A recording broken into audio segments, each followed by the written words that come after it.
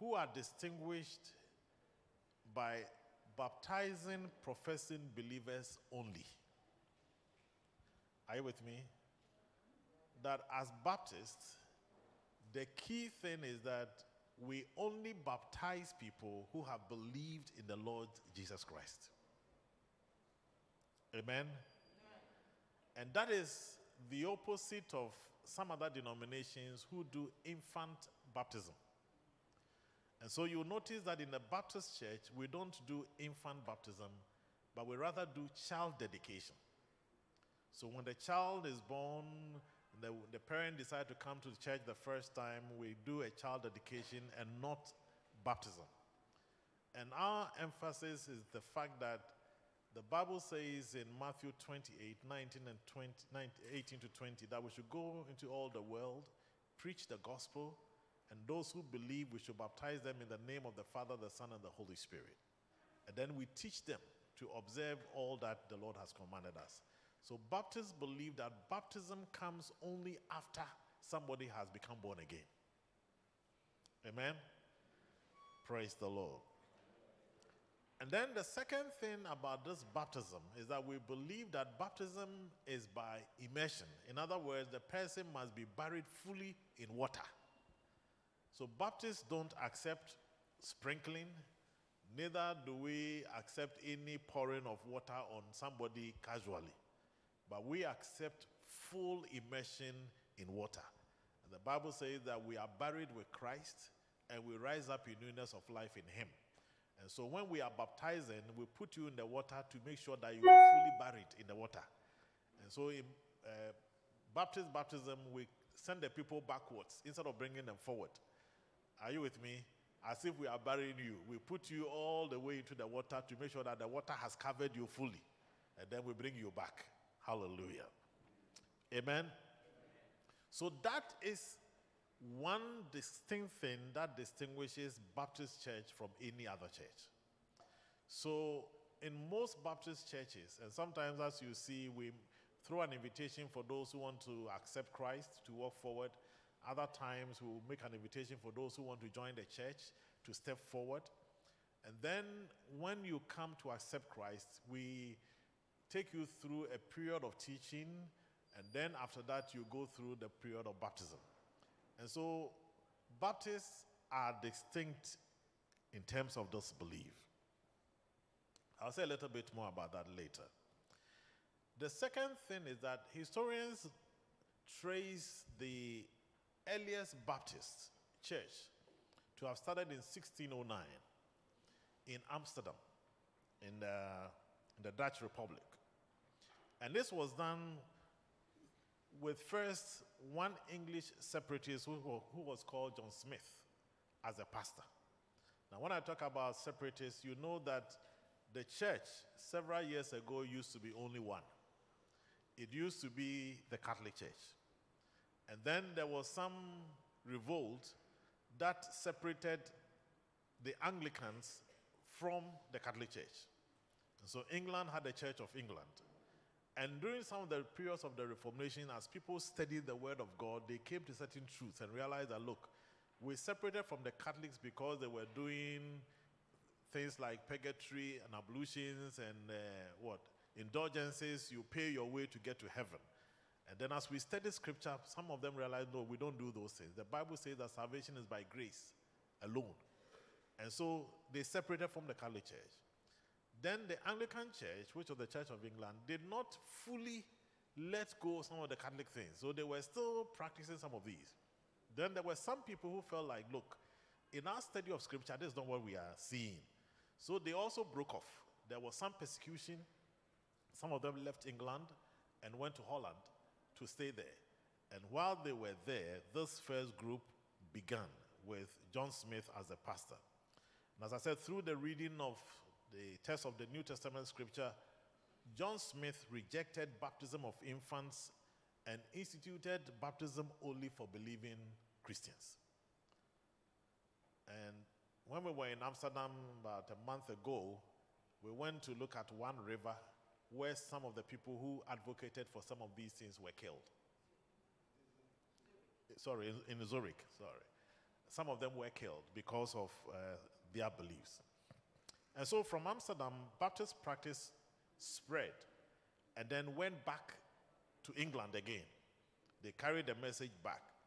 But when they got to England and began to spread the Baptist faith, two groups emerged out of the Baptists.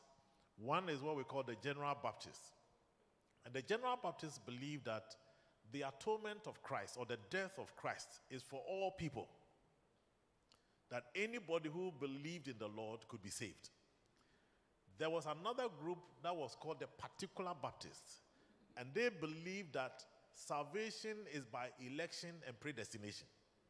So until God specifically calls you, you can't be born again. Are you with me? So these two groups emerged the General Baptist and then also the Particular Baptist. And then there was a gentleman called Thomas Helwys. He then formulated distinctive Baptist demands that the church and the state should be kept separate. That the Church of England had control over the church, and the Anglican Church was the state church.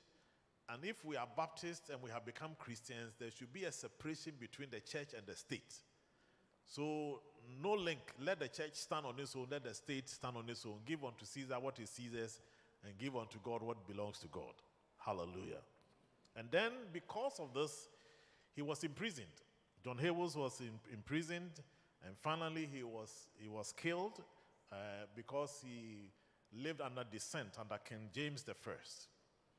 Then in 1639, Roger Williams established the first Baptist congregation in the North American colonies. So they also migrated from England and went to America and began the Baptist faith there. Are you with me? So you have a group of people who left England, went to Amsterdam, brought the faith back to England. Some of them were persecuted. Some of them left England and went to America. Are you with me? Now, for most people, the impression we have is that Baptist faith began in America. But I'm telling you that that is not the case. A group of people came first from England, went to Amsterdam, took the gospel back to England, then finally it left, it, landed in America. Then in between the 18th and the 19th centuries, there was what we call the first great awakening. And that first great awakening began to cause a massive evolution in America when a lot of people began, began to become members of the church in the United States. And this first great awakening, or sometimes they call it the evangelical revival, was a series of Christian revivals that swept Great Britain and all its colonies. And then in 19, sorry, 1730 and the 1740s, this was a great reawakening when the gospel was preached everywhere. A lot of people became born again. The gospel began to spread. The persecution also be- became intense because the more people accepted the gospel and defied the Church of England, persecution became stronger. And some of them migrated and left there and went to America and to be- begin the work there. Hallelujah. Now, this great awakening also marked the emergence of what we call the Anglo American evangelism that brought about trans denominational movement within the Protestant churches. So, when it got to this level, instead of purely staying as an Anglican or this or that, the great awakening swept through. People became born again. Now, denominational barriers were, as it were, broken. Let's see ourselves as Christians who believe in these things more than being part of a denomination. Hallelujah. Then in the US, the term Great Awakening is sometimes referred to as the Evangelical Revival. And when this began, America then began to send missionaries to other parts of the world. And especially the Southern Baptists became very strong in terms of their missionary outreach and began to spread the gospel all over the world. Let me not go too much into this. My goal is to whip your appetite. Uh, Pastor Charles has told us there's too much information on the internet. You can go and read. Hallelujah. So let me narrow down to Ghana Baptist Convention. What is our history? I must say that just as I said in the beginning, a lot of people in Ghana think that the Baptist faith began with the Southern Baptist Convention members from the US. But that is not the case. Baptist work in Ghana began with Nigerian traders who were trading along the West African coast around 1920. And those of us who are a little bit older, and I know what I'm talking about, saw Mami Alata and Papa Alata all over the country at the time. And they had all the shops, small, small shops in all our villages, across our streets, and everywhere. And as the Nigerian traders came into Ghana and did their business of trading, and now we are saying that probably there are about maybe about 1 million Nigerians in Ghana. I don't know how many they were because there were a, a lot more in those days than what we see here. They came also with their gospel. And so, as these traders traded and moved from place to place, over the weekends they will congregate in some of their homes because they didn't have churches. And then they, some of them congregated in their shops and also in other public places and in their garages. And that was where they were worshiping. And they did this over time. And with time, these Nigerian Baptist congregations were scattered across the country. If you go to some of our rural communities, uh, you go to Kade, you go to Akwatia, you go to Dunkwao, and you will still see very old Baptist churches that were built by these Nigerians. So they began to grow. But the truth is that at that time, the membership of the Baptist churches were basically Yoruba Nigerians who were here. In 1940, they began to realize that they needed to congregate and strengthen themselves a lot more. And also to find some means to make the Baptist faith stronger. So, in 1940, the then Yoruba Baptist Association, which was the group of Baptists who were in Ghana, wrote a letter to the Nigerian Baptist Mission asking them to send missionary couples to Ghana to work with them in Ghana. 1940. This letter received response in 1947. Seven years down the line. Now, some of us are wondering what, is, what was wrong with them? Because now you know aeroplanes between Ghana and Nigeria is how many minutes? One hour you are there. By road, you leave in the morning, late afternoon, you are here. That was not the case in those days. if you sat in the ship, I don't know how many days it took us to get there. So it took them seven years. So in 1947, the Nigerian Baptist Convention sent Reverend J. Idowu and his family as field workers for the entire Yoruba Baptist Association to work with them in the then Gold Coast. And for you, those of us who are growing now, you know that Ghana used to be called the Gold Coast. So the Yoruba Association in those days came to work in the then Gold Coast. So they came on February 9th in 1947. A few days after that, which was February 17th, then they sent association, the Baptist Mission in Nigeria, then sent another Reverend Minister, H.L. Littleton, and his family, who worked as volunteers, came from Nigeria to work with the then Gold Coast in response to the request that the Nigerian, uh, the Yoruba Association had sent to Nigeria.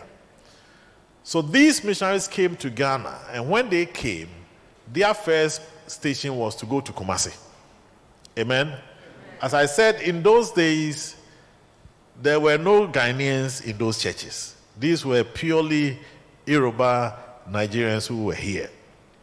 So the goal of the Littletons and the goal of Reverend Idowu and the family, these two families who came, was to see how best they could work among the Yorubas who were here and also find another means to penetrate, to get through, to get some Ghanaians to become members of the Baptist faith.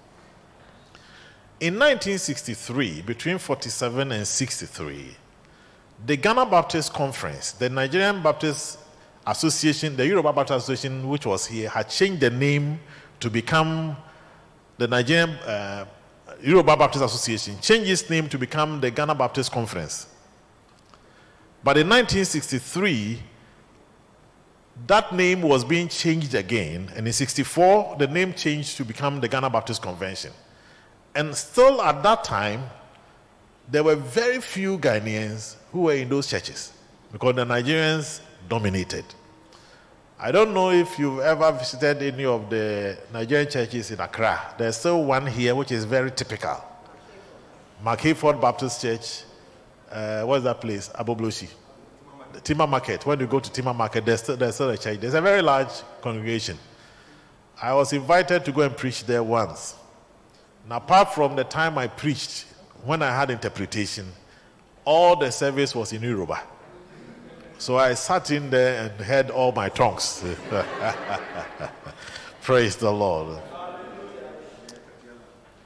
Kumasi, there's another one, First Baptist Church in Line, is also an, a full uh, Yoruba church. When you go there, everything is in Yoruba. And uh, so they have still remained as pure Nigerian churches. In 1969, something happened in this country. The government passed a law, uh, which was the Aliens Compliance Order, which was also called the Quit Order, asking all immigrants in this country who were here without proper permit to leave the country. So when this happened, it meant that everybody, any foreigner who lived in this country who did not have the right immigration paper was supposed to go. And if you look at the number of Nigerians who were here as traders in those days when this quit order came, it was a disaster. Some left without even telling us where the churches were because there were very few Ghanaians then. They left, they left the churches, they left everything, some left their businesses. I mean, it was a very short window, and people had to leave. It was like uh, Israel leaving e- Egypt. if you were young, old in those days to see what happened, it was very terrible. It was almost the same like Israel living in a short period of time. Everybody was supposed to leave, and so they left. Now, this affected a lot of Nigerians. A lot of their shops and their businesses were closed. And when the Nigerians were leaving, the churches that were planted were handed into the hands of the few Ghanaians who were in those churches. I went to Grace Baptist Church a little bit of the beginning. When I joined Grace Baptist Church, I don't think we were more than 35. It was a very small congregation. Nigerians had left and given us that big building. And the history of that building is another story. if I talk about that, that will also take us another a lot of time. And so there were very few Ghanaians who were in those churches. But the quit order also weakened the Ghana Baptist Convention because the Nigerians were the majority. They had the resources, they had the personnel, and they had everything. So when they left, the convention suddenly became very weak because we didn't have the resources to do what we wanted to do. But the exit of the Nigerians also helped the Ghana Baptist Convention to change the perception. Because in those days, everybody thought that Baptist was an Yoruba church. And that was the reason why most people didn't want to go there. Because if you went there, you didn't understand anything that was being said. It's just like when some of our foreigners come to our churches and go to some area where we are only speaking Twi, and they sit in there, they are lost. That was exactly the opposite of what was happening in those days. So when they left, the few Ghanaians took over, and now we had to change the perception that the Baptist church was no longer not an Yoruba church, but the Baptist church had a universal, uh, was a universal uh, denomination. Hallelujah. So that is how we came into being. And so from that time, the Baptist Church has gone through different phases to bring us to where we are. And now the Ghana Baptist Convention is heavily Ghanaian dominated. Hallelujah. Amen. So that's a little bit of background. There are too many stories in between. But if I want to talk about those stories, we will not leave here. Uh, all of them have their history. And uh, I was talking about the Grace Baptist Church and where the Grace Baptist Church building is. Some of you go to Kumasi and see that that's a very nice church. But that place used to be a baller. Are you with me? It used to be, that's where Kumasi people used to dump their refuse. It was a dumping ground. And nobody wanted it. But the Nigerians then said they wanted that land. So they had to take the land, reclaim it, and do all the things to put up the building that was there. And when I became a Baptist and went there, it was one of the best church buildings we had in Kumasi. Hallelujah. But it was built on the refuse dump. Hallelujah. Amen. Amen. So, who are we as Baptists? And what do we believe in? Let me ad- admit that one presentation is not enough to talk about all the things we believe in. But what I'm doing this morning is to help you to do further study and to look at some of the things that we believe in. I'll talk about first the basic Christian beliefs which we all uphold. And then I'll come to what we call the Baptist distinctives to make the separation. Because if I talk about the distinctives alone, you ask me too many questions. But what about this and what about that? So there are basic beliefs of Christendom. Number one, we believe that there is only one God. Amen? Amen. How many gods? Only one, God. And that is, has a basis in Isaiah chapter 43, verse 10, Isaiah 44, verse 6 and 8, John's Gospel, chapter 17, verse 3, 1 Corinthians chapter 8, verses 5 to 6, Galatians chapter 4, verses 8 to 9. You'll find all these things there. That this one God is also omnipresent. Amen? Amen? In other words, He's a God who is present everywhere. Jeremiah 23, 23, 20, and 24 talks about that. He is also omniscient. In other words, He's a God who knows all things. He's God omnipotent. He is all powerful. He is God who is sovereign. He is sovereign in himself. He is God by himself. He does not need anybody to prove who he is. Hallelujah. In 1 Peter chapter 1, verse 15, we believe that this God is holy. He is the creator of everything that exists. In Galatians, Genesis chapter 1 and verse 1, Isaiah 44, 24.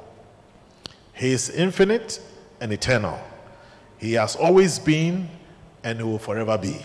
Hallelujah. Is God who is immutable. In other words, he does not change. Hallelujah.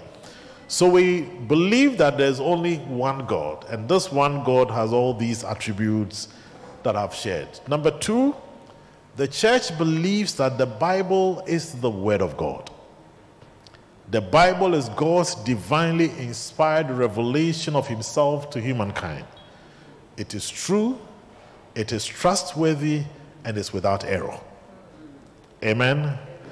The Bible is the equipping tool providing doctrine, reproof, correction, and instruction so that every believer may be equipped for every good work. And the Bible is the ultimate authority in shaping a person's life. Hallelujah.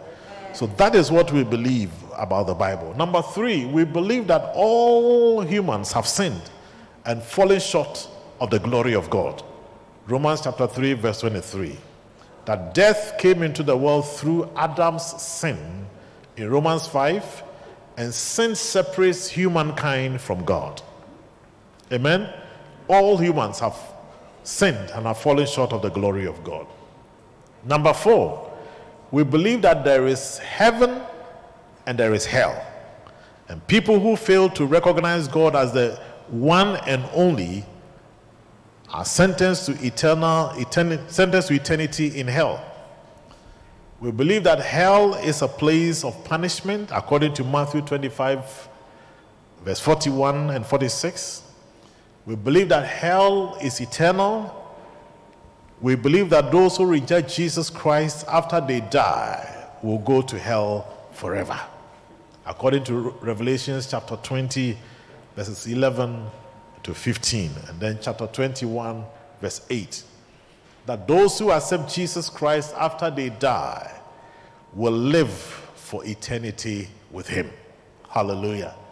John's Gospel, chapter 11, verse 25, 26. 2 Corinthians, chapter 5, and verse 6. 5. We believe that salvation is through Jesus Christ alone. Salvation is through Jesus Christ alone. And the only way to get to heaven is salvation through Christ. And to achieve salvation, one must confess faith in God, who sent his son Jesus Christ to die on the cross for the sins of mankind. That it is only through faith and belief that Jesus died for mankind and that he is the one and only God through whom people gain entrance into heaven. Amen. Salvation is through Jesus Christ and He alone. Number six, we believe that Jesus is coming again. We believe in the literal second coming of Christ when God will judge and divide between the saved and the lost, and Christ will judge believers, rewarding them for acts done while they live on this earth. Jesus is coming again. That the Lord will return, Jesus will return to the earth, according to Acts chapter 1, verse 11. The angel told the apostle, This Jesus whom you see going will come in the same manner. Hallelujah. And that when he comes, Christians will be raised from the dead. According to 1 Thessalonians chapter 4, verse 14 to 16. That there will be final judgment when Jesus comes again, according to Hebrews chapter 9, verse 27, 2 Peter chapter 3, and verse 7. Now, when Jesus comes again, Satan will be thrown into the lake of fire. Revelations chapter 20 and verse 10. That God will create a new heaven and he also create a new earth. Amen. According to 2 Peter chapter 3 verse 13, Revelations chapter 21 and verse 1. When you come to the book of Acts, chapter 2, verses 41 to 47, the list of things that are there that the church believes in. One, we believe in, we believe in fellowship of the saints. The gathering together of the saints is a belief of the church. And that is why we gather on every Lord's Day to celebrate fellowship. We believe in the breaking of bread in homes and in temple courts so we believe in the communion. That is why we gather the first Sunday of each month to the second Sunday of each month to celebrate the Lord's Supper here. And not only do we believe in the Lord's Supper alone, the early church believed in breaking bread in homes and then also in the temple courts. So once a while, when we finish the service and we go there to take our breakfast, don't say that what is this church doing? The New Testament church broke bread in homes and also in the temple courts. This is our court. And so we can break bread here. Hallelujah. Praise the Lord. The church believed in prayer, that prayer answers all things, and it's a means of drawing closer to our Father and also to commune with Him.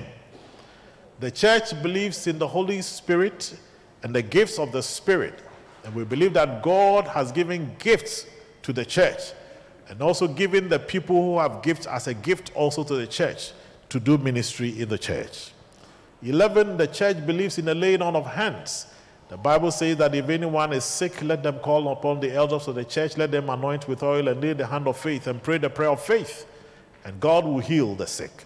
So the church believes in the laying on of hands. 12, we believe in helping the poor. The Bible says that if, after all your rejoicing and shouting, you see the poor and you cannot minister to them, what are you talking about? So we believe in helping the poor. 13, we believe in discipline. And just as the word of God is supposed to rebuke and correct, the church is instructed to discipline. Remember what Paul said? There's a gentleman who is sleeping with his father's wife in the church. I want you to discipline that person before I come, because if I come and meet that man, there'll be trouble. the church believes in discipline. So once a while, when the church is trying to discipline an individual, don't think that what is the church trying to do? The church believes in discipline. The 14, The church believes in sound Christian living. We consistently teach, and all the things we've tried to do the whole of this year and the previous years is only to help us to live the way we ought to live as God's people. Hallelujah. There are a lot more that we can share when it comes to the general beliefs of the church. Let me narrow down to what we call the Baptist distinctives, or the major fundamental beliefs and principles that have distinguished Baptists from any other religious body, and through the centuries and even to today. These are things that we call the Baptist distinctives. And in trying to share them, I always try to use the acronym Baptist so that it helps you to remember and not forget. So, what is it? B A P T I S T. Amen? Now, when I use that, it will always help you. When you are forgetting, you ask yourself, Baptist, you put it back again and see what is it. So, what does the B stand for? The first for the Baptist. B means biblical authority. Baptists believe that the Bible is the only rule for faith and practice. Amen? When you enter a typical Baptist church, there are two things that, is prom- that are prominent. You always see the pulpit,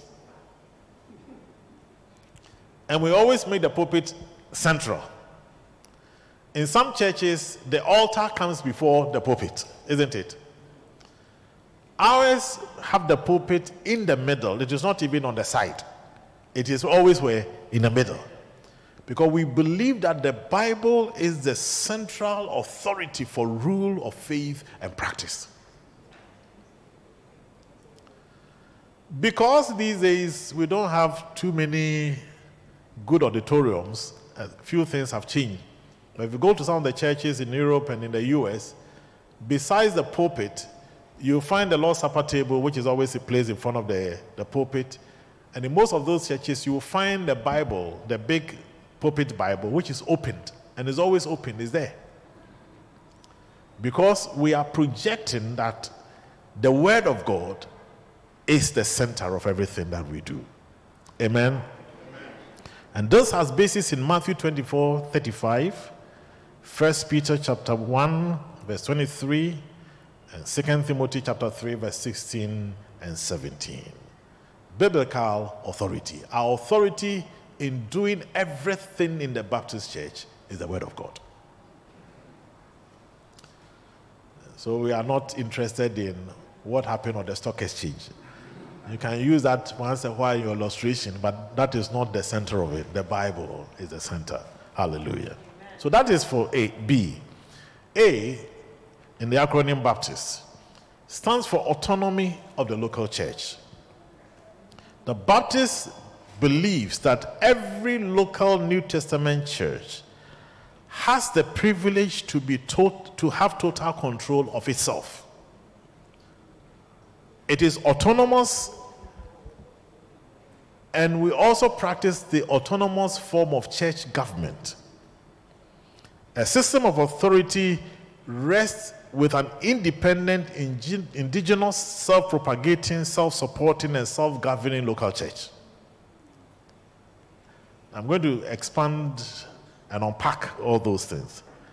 So, in a typical Baptist church, hardly do you hear that this is the lectionary or this is the almanac, and every Sunday all congregations are preaching from the same text.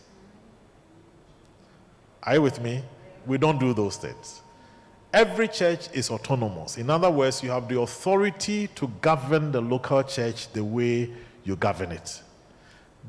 We don't also do appointment of pastors, as some churches do. You are sitting there, somebody from center say, hey, you go here. We have transferred. No, we don't do it. Because every local church has a certain autonomy. That you have a right to choose your leaders, you have a right to call a pastor. You have a right to do your things. And this is inherent in the three things that I use. You are self propagating. In other words, nobody is going to build BRWC for us. BRWC can only become more, increase in number and everything based on what we do here. Are you with me? So we propagate the, the, the gospel ourselves. Number two, the church is self governing. That is what I explained. We govern ourselves. So leadership is within. Nobody from outside dictates to us. We have a right to choose our leaders. We have a right to choose what we do with our money. We have a right to do whatever we want to do here. There's no interference. The third thing that the church must be self supporting. Everything we do here, the money must be raised from here. You can't sit here and say, okay, but what is the convention? What has the convention brought us? And why didn't the mission brought us? What is BWA doing? What is AABF doing? The church is what? Self supporting. Amen? So, whatever we do in a local church, the money must be raised from the local church. Hallelujah. Let me say here that from the early 1990s, the Ghana Baptist Convention modified this distinctive a little bit, and instead of having total authority of the local church, we have modified it into what we call the cooperative autonomy of the local church. And what do I mean by that? By cooperative autonomy, we believe that Baptist churches who come together to form an association, an association that come together to form a convention, is one denomination. And therefore, when we gather as a denomination together in our annual sessions, in our association meetings, and we take a collective decision, that collective decision is binding on all of us. Are you with me? The collective decision. But aside the collective decision, the other things you can do it on your own. Amen? So, what are some of the collective decisions? We have all agreed that for our denomination to make progress, to expand, and for us to be able to do ministry as we ought to do, because this church alone cannot build a university. This church alone cannot run a hospital. This church alone cannot do all the NGO things and boreholes and all the things that we are doing in villages.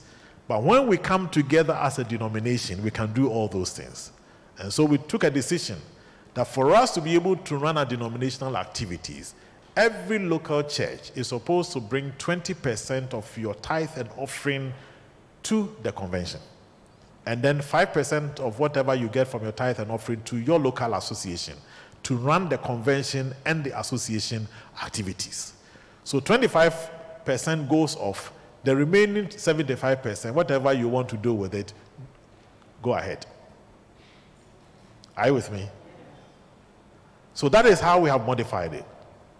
All of us come together to choose the president of the convention.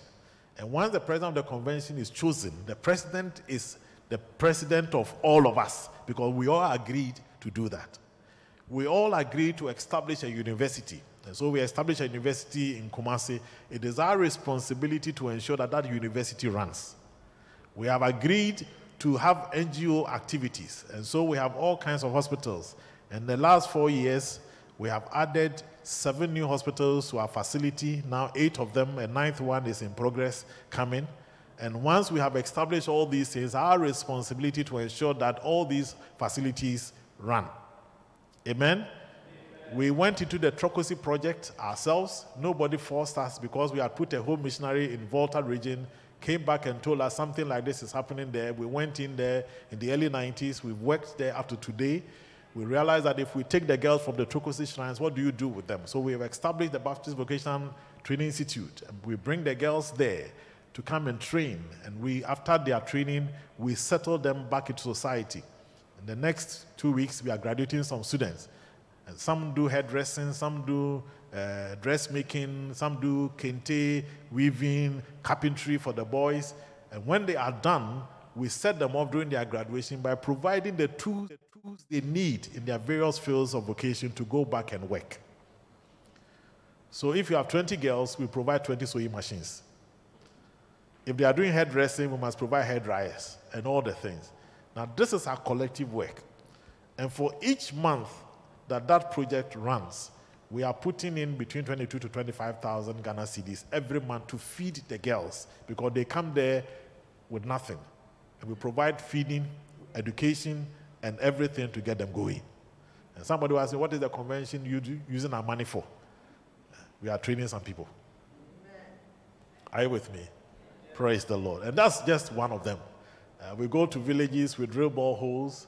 Uh, you saw the white people who are here, they are going to spend some time there. It's all part of the things that we are doing there. We are building classrooms, we're doing all kinds of things. All those things are being done as a collective body. Now, what benefit do I get out of it?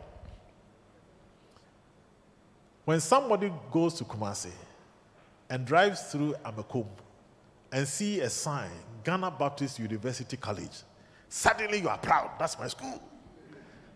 Amen. Or you go through Abuakwa, Ghana Baptist University College, School of Theology and Ministry. Yeah, that's our school, our Bible school. We train our people here. You go to Tamale, you see Ghana Baptist uh, Training Center. That's where we train our pastors. You are happy. You go through Frankadua, you go through various places where we have hospitals. You are proud because we are Baptist. And it's our collective money that does those things. No church can do those things alone. If you go to a hospital in Nalerigu, we attend to over 800 patients, outpatients every day. 800 outpatients every day.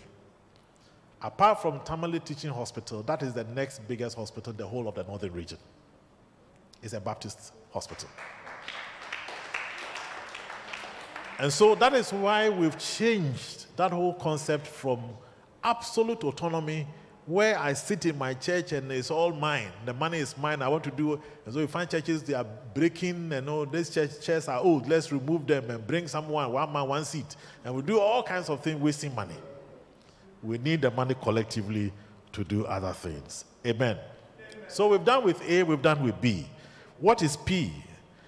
P means priesthood of all believers. Now, unlike the Old Testament, where priestly functions were restricted to the tribe of Levi, New Testament teaches that every believer is a priest before God. And therefore, each believer has the blessed privilege of going directly to God at any time, under any circumstance, to bring his or her petition through Christ to God.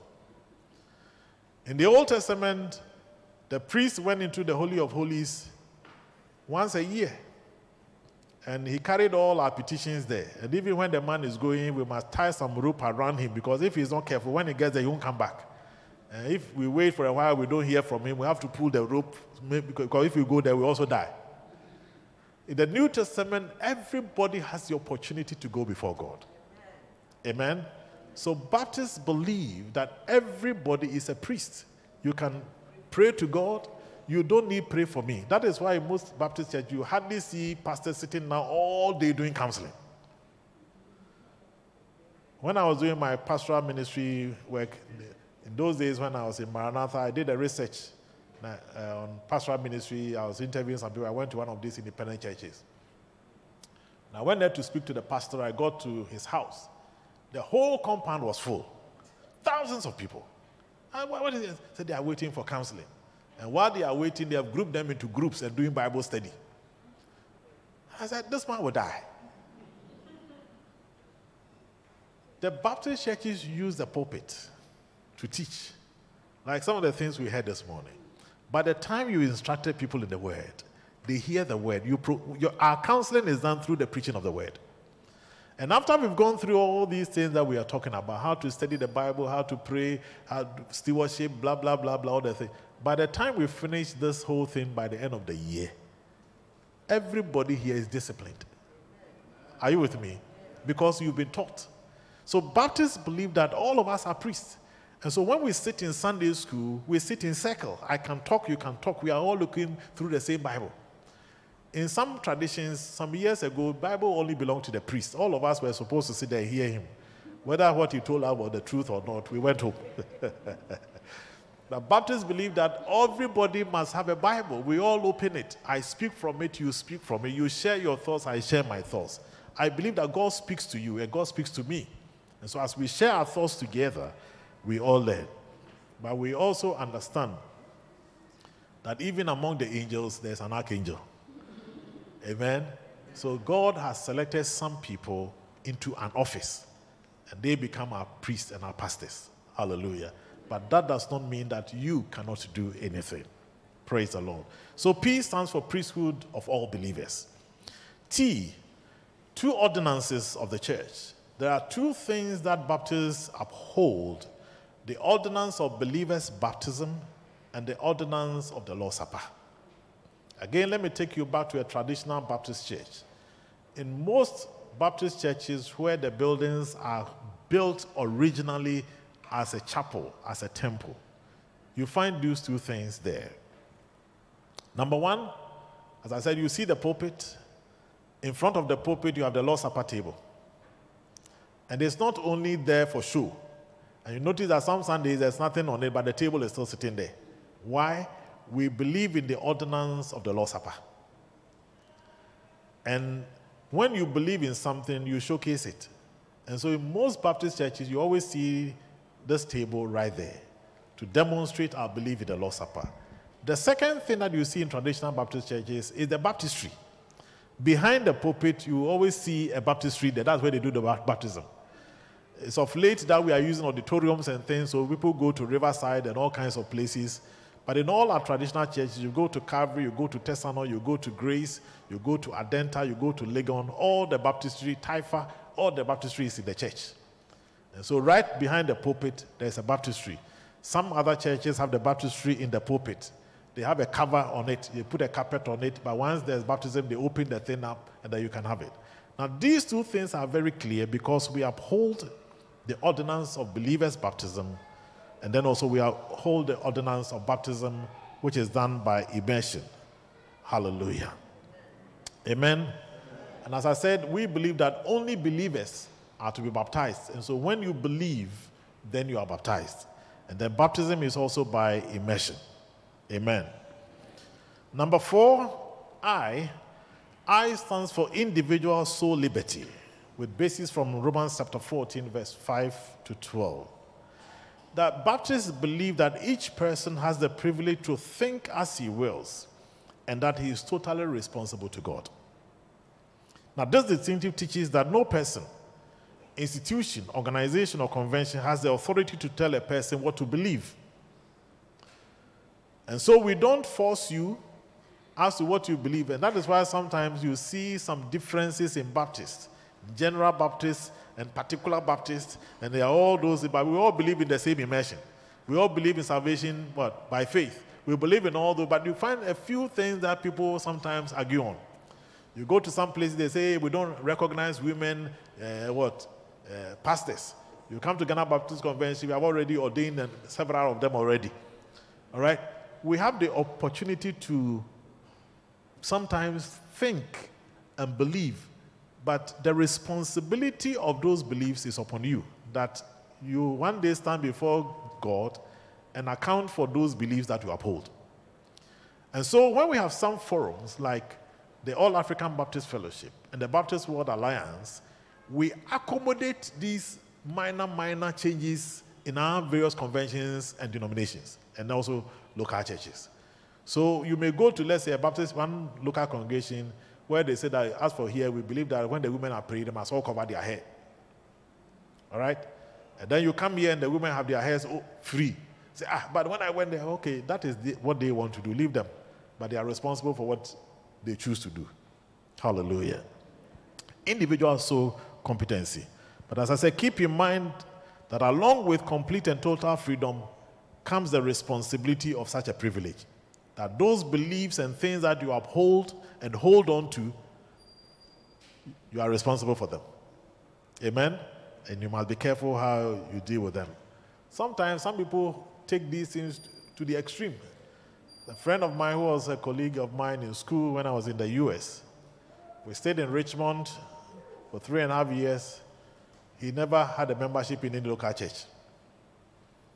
When he finished seminary, he could not be employed in church. And the only reason is that when he gets to a church and the pastor says one small thing that he doesn't agree with, he's gone. I said, You live in a world where there are all kinds of divergent views. So once in a while, even if you are preaching and you slip, like Donald Trump slipped and said, I, I, I was supposed to have used not, and then didn't use not.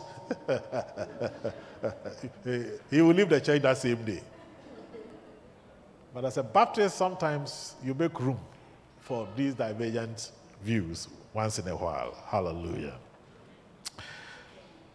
S stands for separation of church and state. The early fathers, as I mentioned, spoke about the separation of church and state. That the church must be independent of the state and the state must be independent of the church.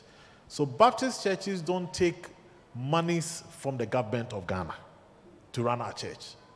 If the government wants to support some of our social action program, that's a different matter. But in terms of running the church, we don't take money from the state, and we are not a state church. And so, even in the US, where Baptists are all over, it is not a state church. But you go to some countries, uh, like when we were in, in Zurich the other time, the state collects money and the state gives money to the church. In some in Germany and others, some people pay tax, and part of the tax goes to the church to run the activities of the church. The Baptists believe that there should be a distinction between the state and the church. Now, this distinction must be done in three fronts when we talk about separation of church and state. Number one, we believe that there should be ethical separation. Now, when we talk about ethical separation, that each individual believer is to be separated from the world and unto Christ. According to 1 Thessalonians chapter 1, verse 9, as a Baptist, you must be ready to recognize that we are in the world, but we are also not of the world. Amen? So don't live here as if this is your home and you are going to be here forever. While we are living and working and enjoying and causing Ghana to be prosperous, one eye is on that trumpet that it will sound one day and all of us will live here. Hallelujah. And so there is a need for that ethical separation to understand that we are part of this system, but we are not here. Amen. Number two, there should be what we call the ecclesiastical separation.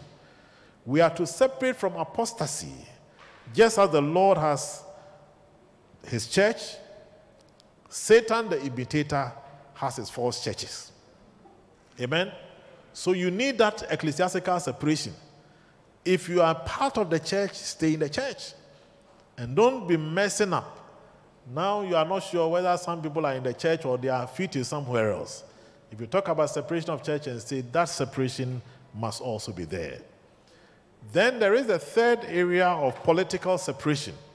The Baptists believe that Christ taught in Mark chapter 12, verse 17, that there should be a separation between the church and the state. Give to Caesar what belongs to Caesar, and give to God what belongs to God. Now, that distinction must be clear. Amen. Amen. Praise the Lord. Hallelujah. Praise God. Let me deal with the last one for the sake of time, and we will end it here. The last thing is that is the T. So we've talked about what? B for biblical authority, A for autonomy of the local church, P priesthood of all believers, T two ordinances of the church, Lord's Supper and baptism, I for individual soul liberty, S, separation of church and state. And the last one is that there are two offices of the church. Baptists recognize that there are two key offices of the church. And these offices are the position of the pastor and the position of deacons.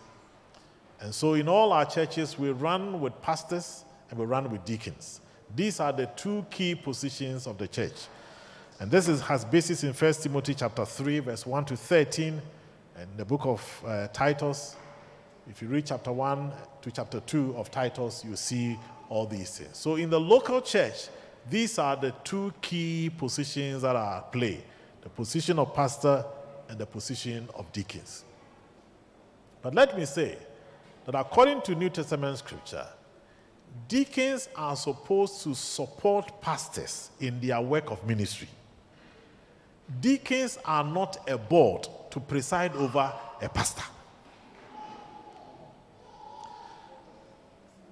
In the old tradition, we used to call them deacons board. Ghana Baptist Convention has changed it. Now we call them the body of deacons, no longer deacons board. When you call them deacons board, they transition from the corporate circle and bring it to the church. And so, when the Lord has called a pastor to lead a church, and you have deacons who are supposed to become supporters of the pastor to help him now become his board. Anything that the pastor wants to do, if the deacons don't approve, the pastor cannot lead. So, who called who? Amen? The role of deacons is to support the pastor to do the work of ministry. So you assist the pastor in terms of his vision, in terms of the things he wants to do, and to help the pastor to do the work and do it effectively. So these are the two key positions that are recognized in the church. But besides this, in most churches, we have the body of deacons, we have the pastor, and then we have a church council. Because we have autonomous way of running the church, there is a need for us to come down to make sure that we have very good representation when it comes to decision making. So, in most churches, the church council is made up of leaders of identifiable groups within the church. So, you have the pastor, some of the deacons, you might have the, church, the leader of the youth, the leader of the women, the leader of the children, the leader of the, uh, the women who are represented there. You may have a music ministry, so you have one person representing music ministry. You may have various ministries in the church. You have different people from there representing those areas, so that when the council sits to take a decision, which has sometimes gone through the pastor and the deacons and coming to the council, you are able to have divergent views and representation from the whole church, so that when we take a decision, that decision can be carried and carried properly. Amen. So church councils are meant to help us to facilitate our democracy in the local church. In most churches, what happens is that deacons are supposed to assist the pastor when it comes to ministerial duties. Amen? So, what are they? In preparing for the Lord's Supper, the pastor cannot be sitting here and be pouring wine, wine, wine, wine when he has spent time to pray. So the deacons are supposed to come and prepare those things and set the table. When you are finished, the pastor will come and pray over it. And then when we are administering it, you see here the pastor stand here and does all the things, and then other people will come and carry out all the things and do them. So that's their responsibility. Number two, caring for the aged. There are old people in homes in some of our churches who cannot even come to church. At the end of the service, the deacons and sometimes the pastors, if they are available, go home and administer communion to them in the homes. You visit the sick, you visit the poor, you take care of those needs in the church. Those are the things that deacons are supposed to do. When they fail to do those things, they become a board and they want to sit in office and give instructions. So they are supposed to be made to work to do those things of ministry. And once a while they teach. Once a while you assign them some responsibility that the pastor cannot carry out. So deacons are responsible for the ministry aspect of the church. The church council, in most cases, is supposed to be help support the pastor in the administrative functions of the church. We are building a new church. Pastor cannot be running around looking for tipper trucks to bring sand. So members of the church council, out of them, maybe has somebody there who is from the trustees or who is in the building committee.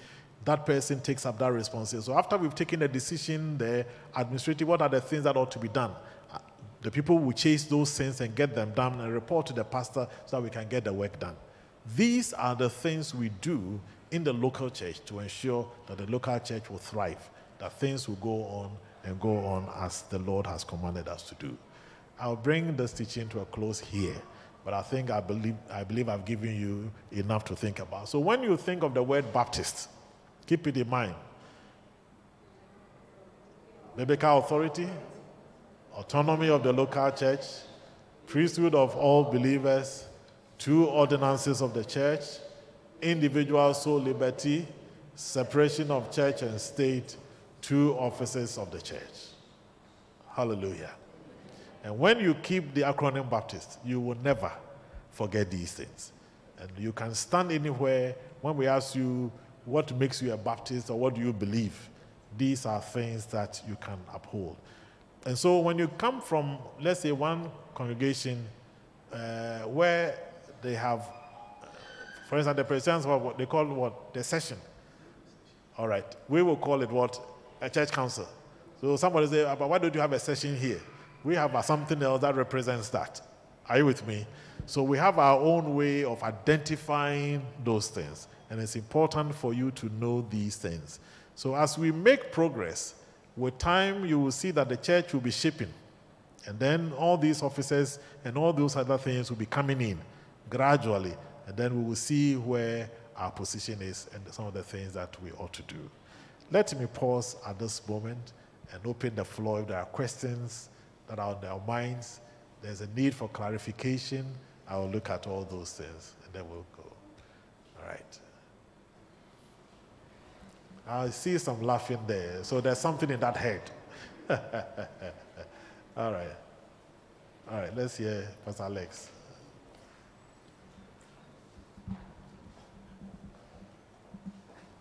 As we say Liberia, thank you plenty.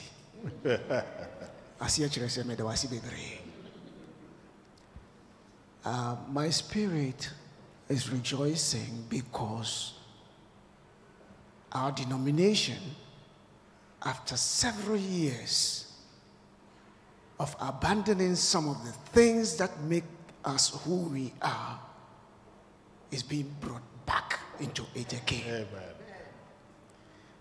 It has been something that has always been on my heart that when are we going to go back to the old ways? Today, I can see that coming directly from the president himself, the president of the convention himself, I know it will simmer down to the rest, including those of our churches that are in the hamlets, the villages, and wherever. Church, let us take these lessons seriously. Baptists, we are distinctive people. God bless you. Amen. We're grateful for those comments. I think when the media team did the promo on, on Facebook, we saw all kinds of comments. People were saying that why are you doing this on a Sunday morning when we are in our churches? We wish that I had been there. All of us want to be there. And so uh, we decided to go live as far as this teaching is concerned. So we're live on Facebook. But at the end of the day, it will be loaded onto YouTube. Right. We are live on YouTube now. So it will be loaded on YouTube so that uh, people can follow it. It will be there consistently for those who want to learn to learn. Thank you very much. Is there a question from there? I saw laughing faces there. and when I see those, I want what is in the head to come out so that we'll hear you. All right. Are you okay? All right. Thank you very much. If there are no questions, is there one? Okay.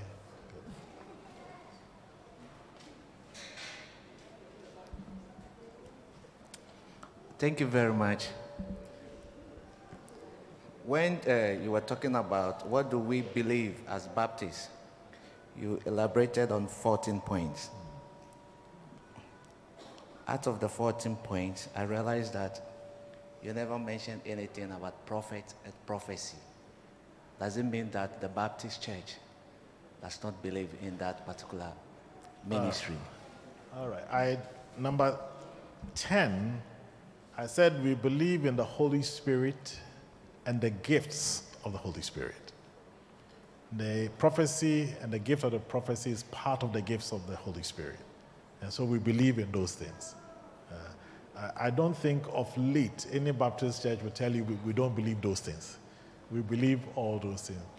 Except that sometimes we are cautioning our churches to be mindful of the excesses and the practices. And the, uh, of late, so many gymnastics are, are coming along, and uh, uh, we want it to be as decent and clean as possible.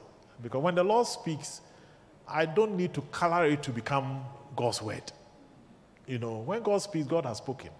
And sometimes, uh, even instead of standing in front of you and say, My children, my children, that saith the Lord, I will come here and say something simple and leave.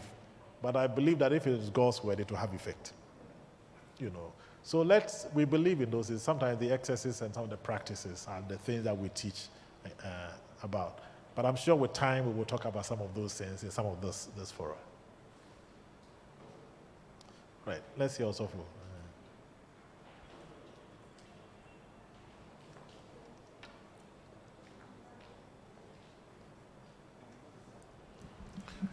Two things. One is a question. Uh, I think the people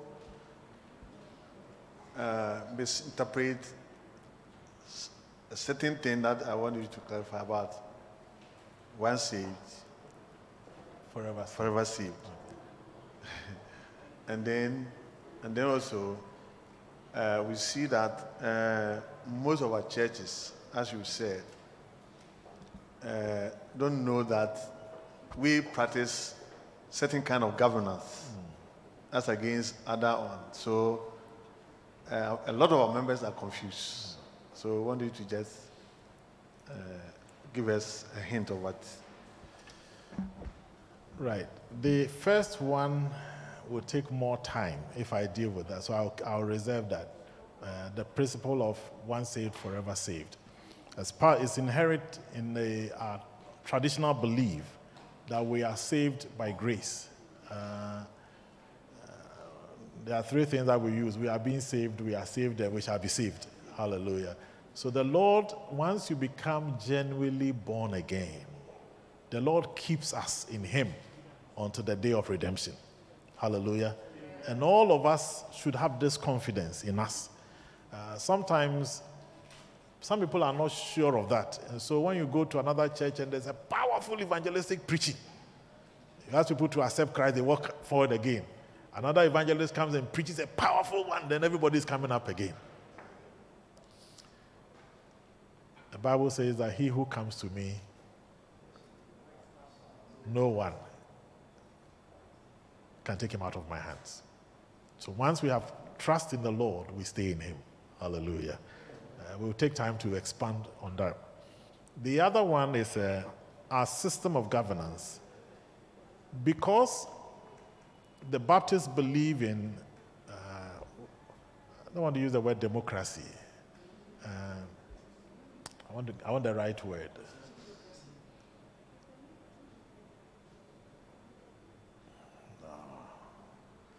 But let me use the word democracy. We have a de- democratic form of governance, or because of our self-governing system. Congregational, sorry, congregational leadership. So everybody in the congregation has a voice in whatever we do here. And so you notice that sometimes after service, uh, Bernard and Robert and others will gather you. We are all talking. We want to hear your views on this, on that, on that one. You know, other times we all come together, and even after I've spoken in some churches, after I finish, uh, who are you to talk?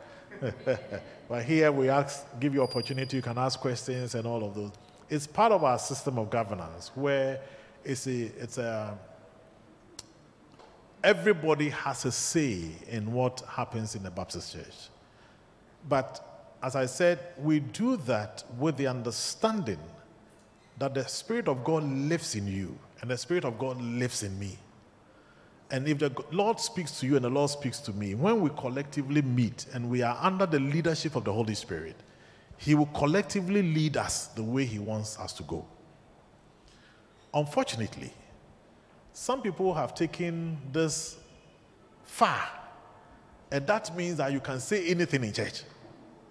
And so sometimes you see churches where people are lobbying and doing all kinds of things and mobilizing uh, because we, when we vote, we vote this way without the leadership of the Spirit. But the whole concept of this whole idea of congregational leadership is the fact that we believe that the Spirit of God lives in you, the Spirit of God lives in me. So after I've prayed about an issue, after we have studied God's word together, the Spirit of God will lead us to come to such conclusions that will be beneficial to God's church. And in taking every decision, the church and its progress is paramount to my individual uh, standing opposition. So sometimes I may, the pastor may even go to a deacons meeting or a church council meeting with some ideas. But the deacons may shape it And I used to talk about one of my professors who's going to be with the Lord, he's, who told us in one of our classes that if you want to be a good Baptist pastor, you must learn how to work as a Baptist. And that whenever he had any, he felt the Lord leading him to do something, he will pray about it, and after he's taking a decision, he will invite the chair of the body of deacons to, to lunch. And when they finish talking, he will put his proposal before and say, I brought you here. The Lord is leading me to do this. I did not bring you to come and uh, uh, throw it away, but I brought you here to help me to polish it. Amen. Then they will talk. You know, our position is that this is the thought. How do we polish it to make it effective? Amen. But not to throw it away. For instance, uh, we are thinking about what? Buying a vehicle for our sector head, and we are within the sector. So we brought the idea. It is not my responsibility to come and shoot it. Now, I don't have a car, so why are you buying a car for somebody? We are doing ministry. We need a car. So what do we do? We put our heads together. If we use this approach or that approach or that approach, we can get the car. Can we do it this way or that way or that way? So at the end of the day, we take a decision that moves the church and its ministry forward and not to destroy it. And so you find in some churches, Baptist churches become divided anytime there's a business meeting. Because people are there, and for a whole year, they have not voiced their feelings. Everything is pent up. I'm waiting for the business meeting. And in the old days, when there was a business meeting and you see people sitting at the far back, you know there's trouble coming. that, that's where the missiles are fired from. you know. But the idea is not to shoot down. The idea is how do we build God's church and cause progress? So let's learn these things that our system of governance, of congregational leadership, brings everybody into the congregation and everybody has a say. But how do we do this then for the expansion and growth of the church instead of destroying and tearing us apart? If I have a divergent view, articulate it, but do it such a way that people will understand what you are doing. You know, I've had people come to me and said, uh, President, I mean, the Constitution gives you power. Why are you not using the power? You should use the power. I said, hey, we are Baptists. Take, take it easy. I don't have the power, but I know what it means to Baptists. So go back to them, sell your vision, sell your ideas, articulate it such that people will buy into it. And when they buy into it, you go along with them. Amen. It is much more helpful than to appear as if you are forcing people to do something. When they do it gradually, it doesn't help. But let's keep this in mind that anytime an issue comes up and as a congregation we are trying to take a decision, remember we've brought that issue here because I believe God's Spirit lives in you and God's Spirit lives in me. And if we allow the Holy Spirit to lead us, it will lead us the way we ought to go. Amen. Right. Thank you very much for the opportunity. And I trust that the Lord, through this series of teachings, will carry us uh, to the next phase. Shall we pray together? Our Father, we are grateful to you for the opportunity to sit at your feet and to learn from you.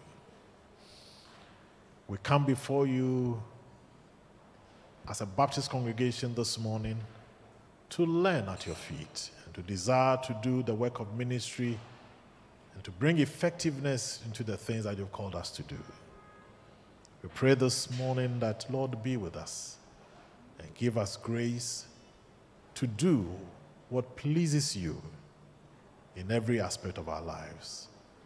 Bless us as Baptists in this country, across Africa and across our world that we will be effective in serving you and doing the work of ministry. As we leave here this morning, we commit ourselves into your hands. Take us safely back home. Give us the needed rest for the rest of the day. Renew our strength as we begin another week. The Lord will be totally sold out for you. We ask for this in Jesus' name. Amen. Amen. Thank you very much, and God bless you.